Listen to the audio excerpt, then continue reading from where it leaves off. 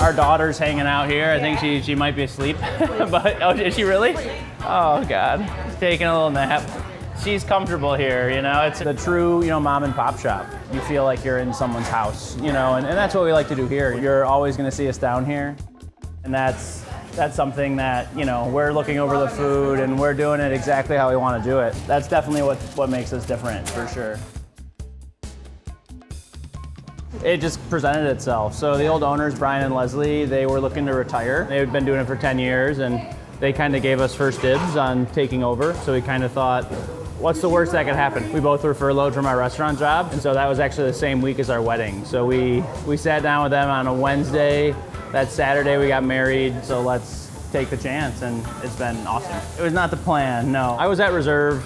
And uh, Olivia was at Maru. That's where we met. I mean, I love Luke at Reserve. I mean, his food's always fantastic.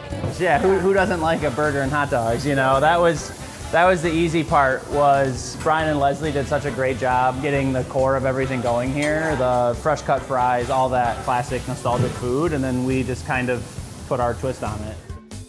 Olivia grew up in Coopersville. I was born in Grand Rapids. I mean, I grew up on Yesterdogs. You know, I, I went to St. Thomas and we had that, you know, for hot lunch once a month. It's, it's in your, you know, your DNA being in Grand Rapids. And so it's nice to be a different, it's a different thing, right? Yeah. Boiled hot dog, grilled hot dog. But yeah, we definitely want to creep up into their territory, of course. You know, that's kind of the, the bedrock of, of hot dogs in Grand Rapids.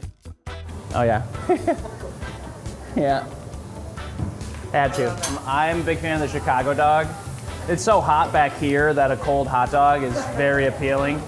Just keep staying in the community and continuing to do the fun stuff that, you know, we enjoy doing. I mean, it, it is something that we noticed through COVID that people would come in for five minutes as we made their food and we would talk to them and have those little connections and it was our socializing in that time because it was just work and home. The community, we really built it from that point on. And now it's like people come in, we know their story, we know, you know, their kid is nervous about his basketball tryouts or whatever. You know, it's, it's that's the stuff that's really been fun and exciting is to grow on those relationships. It's wild.